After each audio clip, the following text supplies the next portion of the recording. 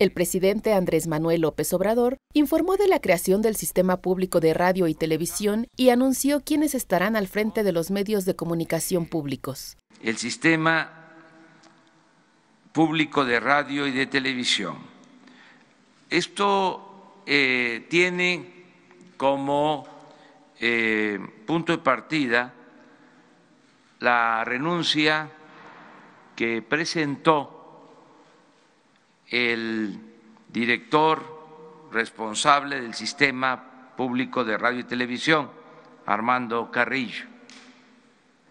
Es un sistema constituido legalmente eh, y que tiene como propósito armonizar y coordinar todos los medios del Estado.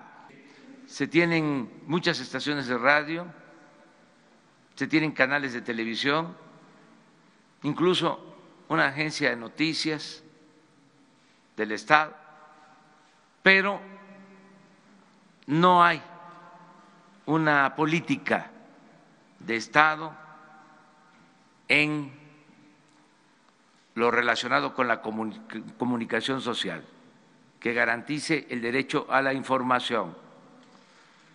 Entonces, se va a crear este sistema, se va a coordinar todos los medios para que haya una eh, orientación editorial que tenga como propósito informar con objetividad, con profesionalismo, con independencia, aún siendo eh, estaciones de radio, canales de televisión del Estado, no va a haber injerencia en la información que se transmita. Van a tener estos medios absoluta autonomía. El titular del Ejecutivo mandará la lista al Senado en donde propone al periodista Genaro Villamil como director del Sistema Público de Radio y Televisión, Armando Casas para Canal 22, Gabriel Sosa Plata en Radio Educación, Aleida Calleja en el Instituto Mexicano de la Radio, Lidia Camacho en la Dirección General de Televisión Educativa, San Juana Martínez para Notimex, Rodolfo González en RTC, José Antonio Lima en Canal 11 y Fernando Coca en Canal 14. El propósito es informar profesionalmente.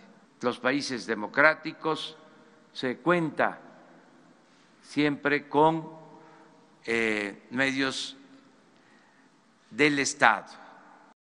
En conferencia de prensa, este 23 de enero, el mandatario retomó el tema de robo de combustible y señaló que Monterrey registra un desabastecimiento. Estamos este, eh, con problemas de desabasto en Monterrey, en Reynosa, se está atendiendo porque nos están sacando de operación dos ductos.